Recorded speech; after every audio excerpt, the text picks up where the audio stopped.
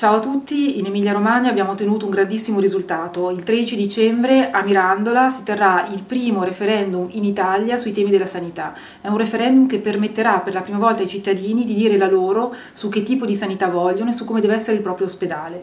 È un risultato molto importante, raggiunto faticosamente. Il Movimento 5 Stelle, assieme ai comitati referendari, l'ha fortemente voluto. Il PD invece ha cercato di ostacolarlo in tutti i modi, ha cercato di vietarlo. Addirittura una volta ottenuto questo risultato, la l'ha definito un capriccio, l'ha definito superfluo, l'ha definito addirittura una truffa e ha invitato i cittadini esplicitamente all'astensione, un fatto particolarmente grave. L'ospedale di Mirandola, prima del terremoto ehm, che ha sconvolto l'Emilia nel 2012, era un punto di riferimento per più di 100.000 utenti in tutta la bassa modenese. Ecco perché speriamo che questo fatto particolarmente importante e anche particolarmente simbolico possa diventare un'apripista per difendere tutti quei nostri ospedali che in questo momento momento sono al centro di una pericolosissima politica di depotenziamento, di declassamento, quasi un accanimento verso quelle che invece erano le strutture d'eccellenza del nostro territorio.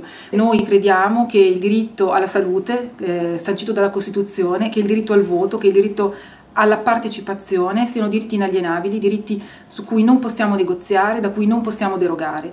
E questo momento, il momento del 13 dicembre, li racchiude tutti. Quindi invitiamo tutti i cittadini mirandolesi a recarsi ai seggi e invitiamo tutti voi eh, a diffondere questa notizia. Tutti insieme ce la possiamo fare. Grazie a tutti.